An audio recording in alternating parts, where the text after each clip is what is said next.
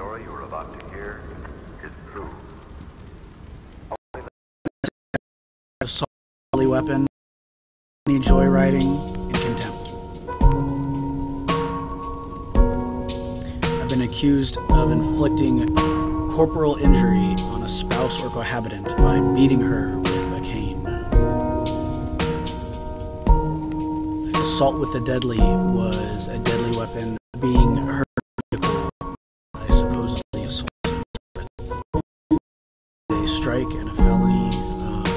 this charge, and it's a lifetime revocation of driving privileges.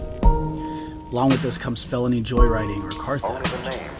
Uh, this is not going to be charged as a misdemeanor; it's being charged as a felony, and two times of contempt for violating the court order.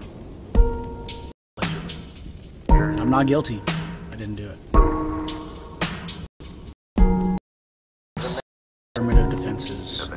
From self-defense to claim of right story and, about owner's consent, uh, along with other things. Only the name Want to learn more? chain. Check out this e-course. Go to law.alexappleby.us for more information.